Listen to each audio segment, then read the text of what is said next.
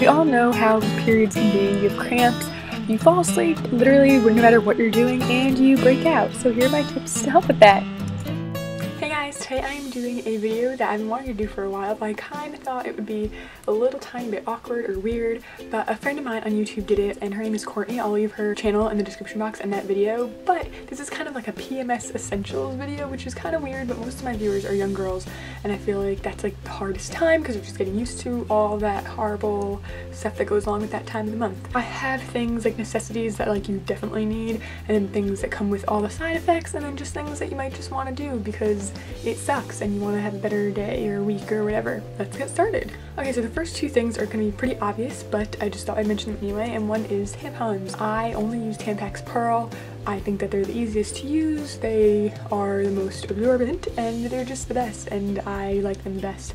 And then also, these are the Carefree liners. I really like them. They're really like lightweight, you don't feel them, they're not uncomfortable, and they're super, super compact as you can see. Other ones I've tried before are like unwrapped, so you can't really keep them in your bag with you, but these, because they're so tiny and compact, you can just like literally pop it in the little back part of your purse, or you can stick it in your pocket or something, so I think that's really fantastic. Now that was like the bodily stuff that you like, definitely need to use and then this stuff kind of is I'd say is for cramps I guess which is something I think most people experience. I personally get the worst cramps ever. I actually the last I don't know, six months I've been getting cramps so bad, especially the first day that I am like having a fever. I throw up from the pain, it's so bad. So I, trust me, like I know pain and I also can't take a lot of kind of pain medicine because adult pain medicine like really gets into my stomach and my head and like I get like really weird from it and it really upsets my whole body so the only kind of medicine I ever take if I like have to because I try not to is Motrin or ibuprofen or whatever you want to call it. This is the 200 milligrams and I usually just take one. I only usually take it when it's like that instance where I'm like throwing up and it gets so painful I have to do something. If you don't want to take medicine like me, a heating pad is a good way to go. I know a lot of people like the hot water bottles. I just don't like those. I think it's like too much of a hassle.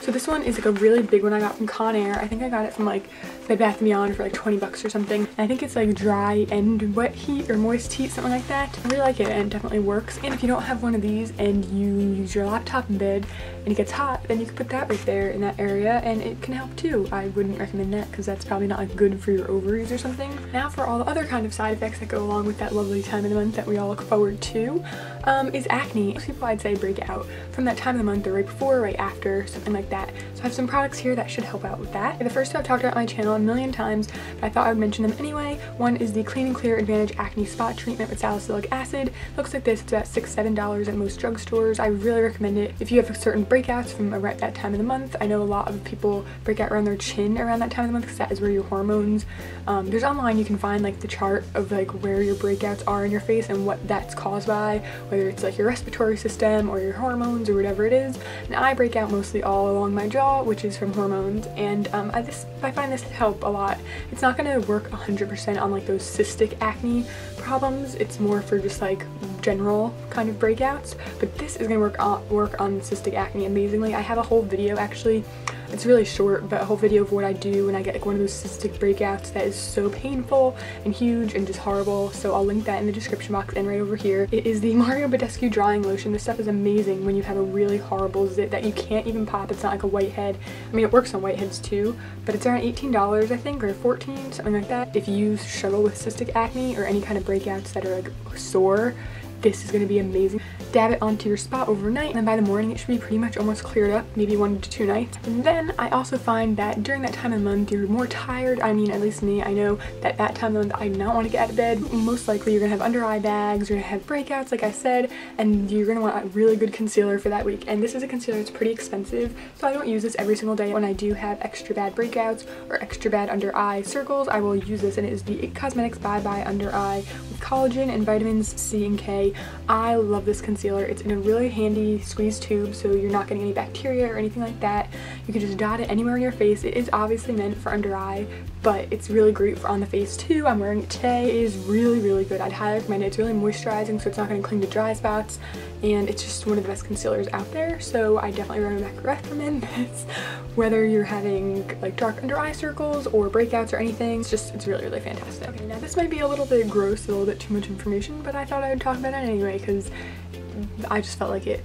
About that time of the month, I feel like not only are you more tired and like everything pretty much with your body is like against you, but I feel like I get more sweaty. I get really hot, like a menopause hot flash or something. I get really warm and I just feel like my body doesn't smell as good. My sweat smells worse than normal, if that makes sense. I don't know. So I'd recommend a really good deodorant. The one I use that I really enjoy and lasts so long is the Degree Motion Sense Sexy Intrigue. I love this scent, but this is an antiperspirant and deodorant. I don't know about that whole aluminum thing that people talk about. I don't really know what that is, like what that's all about.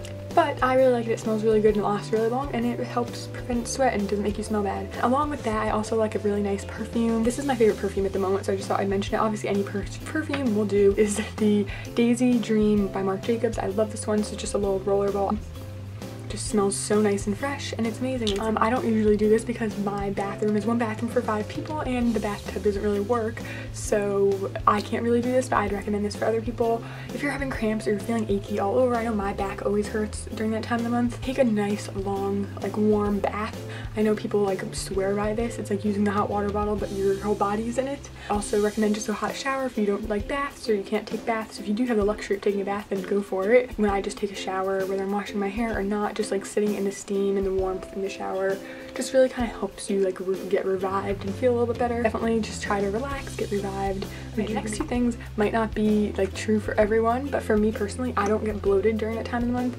Um, I've never had that problem getting bloated or anything like that, so these are definitely things that help me out. Coffee. I know a lot of people say don't drink coffee because it bloats you and things like that, but for me, since I don't get that problem, I need extra coffee during that time of the month. I already am addicted to coffee. If you don't drink coffee, maybe this isn't a great idea. You're not used to having caffeine, but if you're addicted to coffee like me and you drink it at least once a day, then I definitely recommend going up to two times a day during that time of the month and definitely keep it all before noon so that you're not getting letting it affect your sleep cycle that night.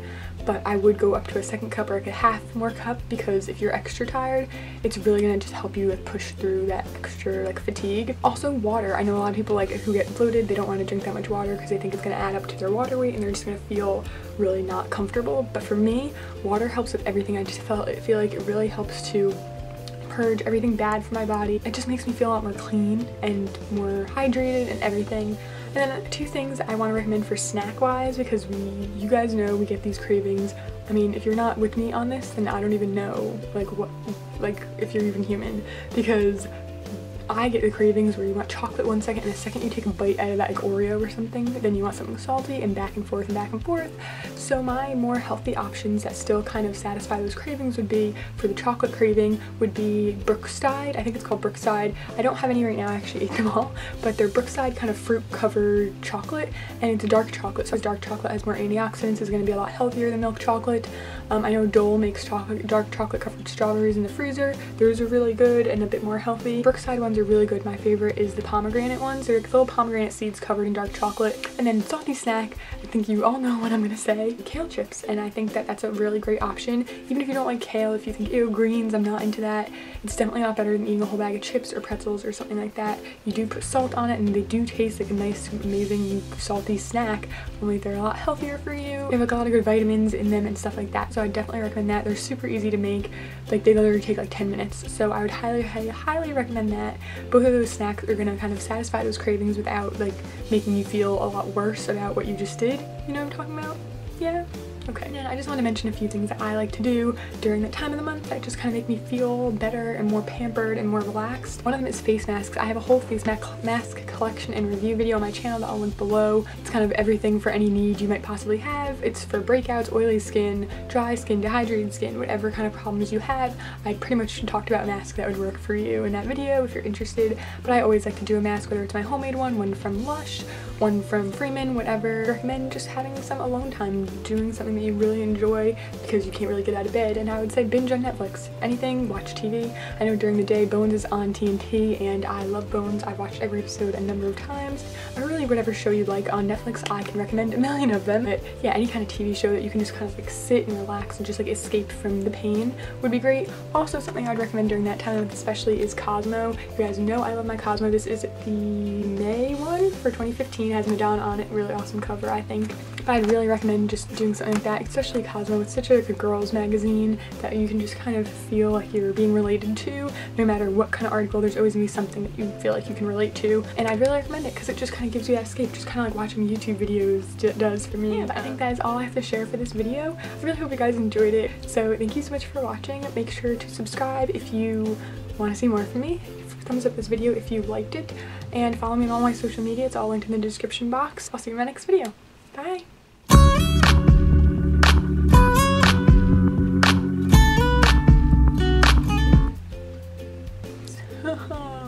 I.